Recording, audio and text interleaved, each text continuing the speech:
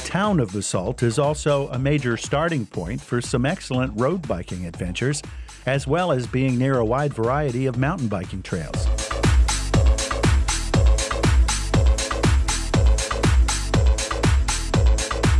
An avid biker, Joel Mischke, also owns the Basalt Bike and Ski Shop in the newly developed Willits part of town, an area that allows him easy access to hundreds of miles of road biking through some of the most spectacular scenery that Colorado has to offer. Whether you love to road ride, mountain bike ride, um, we really have it all, and pretty much year round.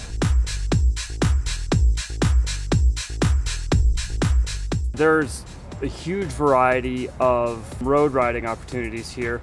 Um, whether you're riding on the frying pan up towards Ruedi Reservoir, uh, we have the Rio Grande Trail, which runs all the way from Glenwood Springs to Aspen uninterrupted.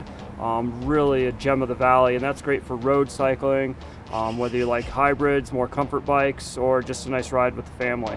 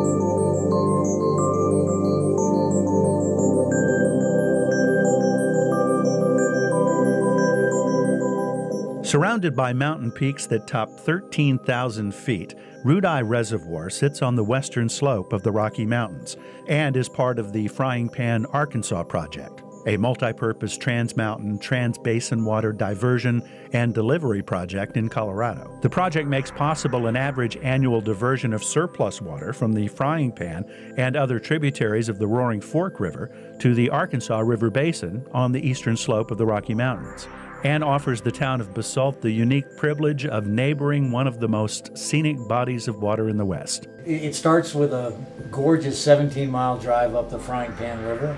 Then you get to the lake that you'll see in the video, and it's no cell phones, almost no humanity of any kind except this small yacht club that is over 50 years old.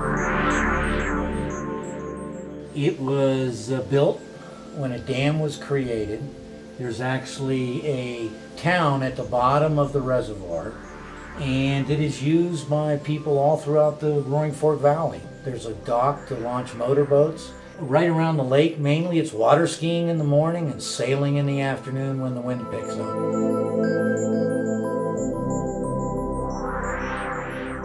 So, as you can see, although small in size, the town of Basalt is one of the grand recreational communities awaiting your discovery.